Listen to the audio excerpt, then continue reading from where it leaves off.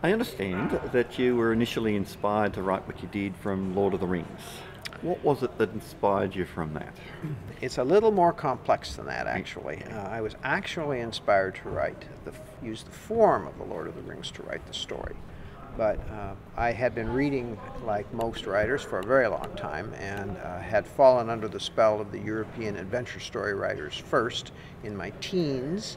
Moved on when I went, into, went to university to uh, William Faulkner, an American writer who wrote in the kind of format that uh, the Shannara series is written in, where there's a in a much smaller space with one county and families and generations of families and secrets destroying families and the change in, in the world destroying them as well uh, so that the have-nots became rapacious and the, became the haves and so forth.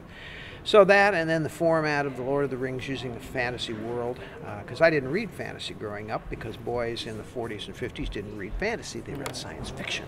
Yes, like science, me. I read. Yes, like all of us, really. Every every writer I know. Well, I grew up reading science fiction. If it, if you grew up in those days, because that's what was exciting, and nobody was really doing much fantasy. So that's that's the long answer to the short question. uh, how do you? Um, when you're creating these new worlds, um, what inspires you to create them? Do you find it sort of they come alive to you? Or? It's a very good question after my writing these books for almost 50 years. Um, and, you know, I never dreamed I would still be doing this uh, at this stage of my writing career if I was lucky enough to have any kind of a writing career.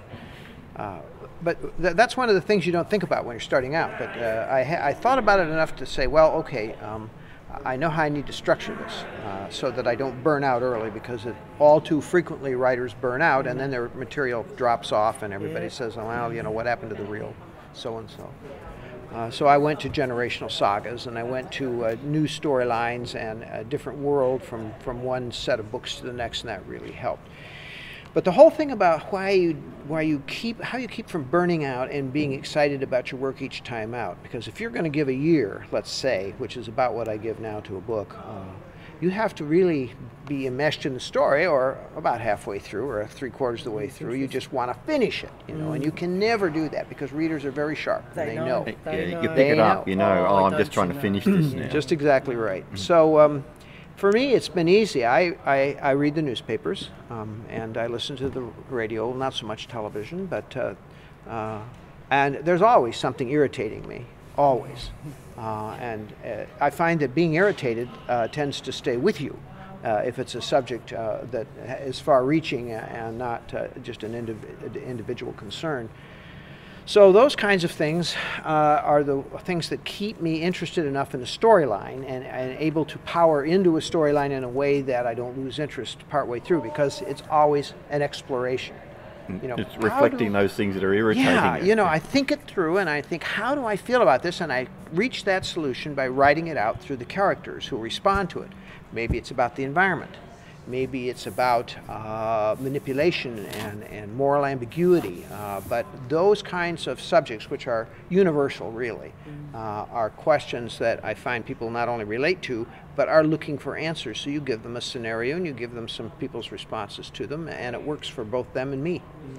Mm. That's the advantage of sci-fi and, and fantasy that yeah. you can reflect the current world. Yes and and get a message across.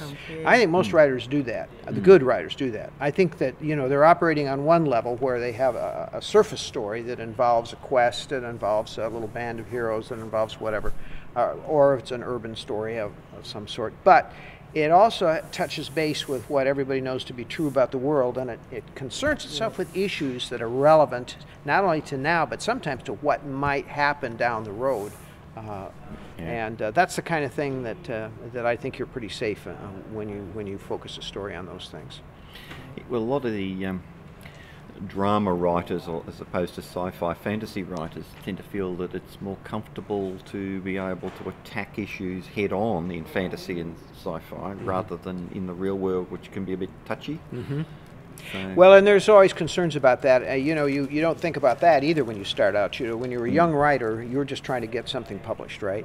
You're, what can I write that somebody would want to read? You know, and you don't have any roadmap. And when I was writing, there weren't even any conferences or schools or barely any classes in anything besides expository writing. I didn't know any writers. I didn't know anybody in the publishing business. No roadmap at all.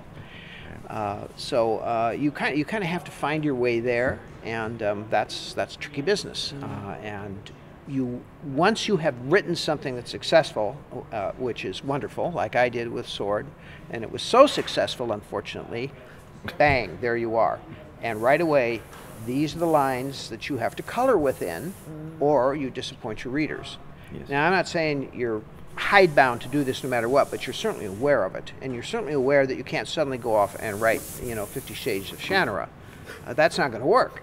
Uh, so you you're sticking with you know with what got you there, and, and my editor was quick to tell me that when I wrote something a little bit different. He says that's very nice, and I put that away for you know when The money making one. yeah, and you go back to what you're writing now, which is successful because publishers, you know, if it's sold once, it'll sold twice, and they don't like it when you suddenly go off and do something else. yeah, stick So to the formula. You, Stick to the somewhat, formula. So that's more of the thing. You stick to the formula, but you have to find ways to reinvent the wheel too, so you don't just write the same story over and over again because people don't like that either. They like some repetition, but they don't want too much. Do you find the publishers pushed you? Because a number of the writers, as you said earlier, uh, their books tend to decline in quality as the years go on, and I often wondered whether that's because publishers are pushing them to generate another book faster. Uh, yeah, publishers are always pushing you to write the same thing and write it quicker. Always. Uh, because this is a business. And you come to understand very early it's, uh, it's economics, it's about money. You know, yes, art is important, and yes, we want art, but we also, mostly, it's about selling. If it doesn't sell, goodbye. These days, particularly, you know, as a new writer, you probably get a contract for two books. If the first book sells, good. If the second book sells better, all right. If it doesn't, eh, you know, maybe not. It's goodbye. Uh, so, and it's it was somewhat that way. I had a long learning uh, curve because I in those days uh, they hung up with a, a, a new writer for a longer period of time. So I and I had the same editor for the first four books, five books, I guess it was, um, and he was he was a, a mentor and a teacher, and uh, that was immensely necessary for a new writer who kind of stumbled into success without really understanding why and uh, you need that. And uh, so, you know, that's real. I think that's really important. Was Yeah, I going somewhere with this? Everything's good, right. No, the, the, the Fellowship of Australian Writers introduced an award recently, well, not recently, years ago, to credit the role of the editor. yeah. Because we're finding the role of the editor is actually diminishing. Yes. And in the process of getting the book out there faster, let's skip Suffering the editing process because it's an extra cost. You finding that? Uh, in Oh, that's absolutely true. And I always started out when I was a boy, or not a boy, but a young young writer uh, in the 70s, uh, beginning in the 70s and early 80s. The editors called the shots. They called the shots, and the publishing people basically went along with what the editors decided. Now that is not the case. And while they still solicit creative content and try to find the best books and so forth, they have less and less of a role in the editorial field and more and more promotional, marketing, things like that. And the marketing department has risen in the esteem of the publishing houses and so it, it, the the whole format has changed to a certain extent, and a lot of it is because all the conglomerate, all the publishing houses now, uh, except for the university presses, are conglomerates. You know, they're big, multi-dimensional, multimedia corporations. So you know, they they've got their hands in a half a dozen different types of creativity, and uh, so it's not just books; it's it's many other things. Yeah. think Amazon. Uh, so. Yeah, you know, it's a little bit different. And I think, you know, getting back to your earlier question, uh, as a writer, you have to be aware of the fact uh, that you have to find ways uh, to keep your profile up there because now everything gets dumped back on the writer to a great extent. I mean, we're doing our own publicity now. I run my own shop. I run my own publicity shop. I run my own website, my own Facebook page. I have a guy that does this for me. The publisher says anything we can do to help, let us know. That's it. which okay. is nothing. Well, mostly. Mostly. Yeah. All right. Do you have a writing process, like get up at start nine and finish at five, or Word word limit per day, or anything like that? flat. Well, before I hit 70, I had a really good one that was tight and firm and, and true. Now I'm sort of lackadaisical about the whole thing. Uh, it's my retirement years, supposedly. So uh, I just know that uh, I'm fresh at 6 a.m., ready to go, and by 1 o'clock, 2 o'clock in the afternoon, I'm brain dead. So, you know, knowing this, uh, I don't work nights and weekends anymore. I don't have another job. Uh, that changes things. Kids are all grown up, grandkids are all grown up. Um, it's just me and Judine, and so it changes the way you approach things. And if you're, uh, you know, if you, if you can uh, function that way and change, then you probably should. So I, I look at what works for me, and uh, my process used to be very uh, tight. I used to outline everything firmly. Uh, I would uh, I would work up character profiles. I would do time frames. I would do all that s- that preparatory stuff before I ever sat down to write a word. I knew the story before I wrote it. I knew the characters in my head. After a while, that gets a little on the boring side. So you say, well, you know, I, w- I would change it even back then because you, you always change based on what you're doing, right? You, you just get better ideas, you get better insights as you write. The writing tells you what the story needs to be. Now I think I'm uh, more inclined to say, I think I'll write a story about this subject. Here's a couple characters that would work well in this story. Um, you know, I'm looking at maybe 400 pages. Uh, I think I'll start here. I know what the s- I know what I want to say, so I know what the ending should be. But all that in between stuff, I tend to meander around more than I used to in some ways. Sometimes it comes more fully formed than others. Uh, sometimes it's a little more amorphous, but I think I trust the process enough now that it's okay. Okay, well, that's. But I know writers who, mm, holy mackerel, they are so uber organized. I can hardly stand it. Make me look like a piker. Well, I know when I write, I tend to sort of have a skeleton. Yeah. And then as you write, you put the flesh on it, and it, My it makes it more interesting for Yeah, me. yeah, it does. And and not only that, but I, as I was saying earlier, I think, and you may find this to be true, that when you're writing it, it tells you what needs to happen. It always tells you better what needs to happen through the writing. And I always also know at the end of one book what the next book's going to be. Wow. Always. Without fail, it just tells me. It says, here's where you need to go next. Yeah. In there somewhere. Or maybe the ideas just form as you go along. I don't know. That's great. Yeah, it's, it's very useful. Yeah, also. In the darks with most writers. We've- we've That's Well, that's right. They crucial, finish I the book, and then they have a, oh, where am I going to go next? What's good? Yeah, that's lucky to play like that. I don't know. I've never wanted to be anything but a writer. I mean, I knew when I was 10 I was going to be a writer. Wow. Had no clue well. how to get there. No clue at all. You found the path. Which Because- means you're one of those that probably could never stop writing. I am. That's It's true. I will die with my boots on and my fingers on the keyboard. Mm. Pretty sure.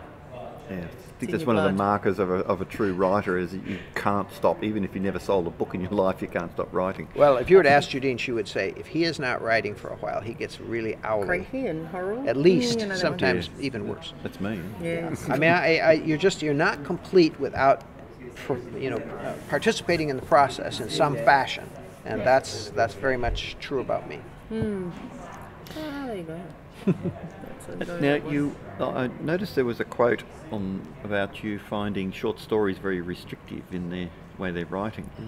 Uh, I know in my own writing, I find that I started with short stories, but they tended to get longer and longer and longer and longer. now I can't write a short story Yeah, because right. I find it too restrictive. Well, so, there you are. uh, There you are. So That's you got it. a similar sort of situation. Yeah, you know, I started with, uh, well, I of course published big novels to start with. The first one was what, 700 and some pages. The second was six, almost 700 pages. Um, so I, I've always felt more comfortable with that form. Um, and to write a short story, uh, a true short story, is very hard for me because I can't figure out how to boil it all down little, yeah. and tell it in you know 20 pages or something like that. My short stories tend to be 50. You know, that's about as good as I can I can make it.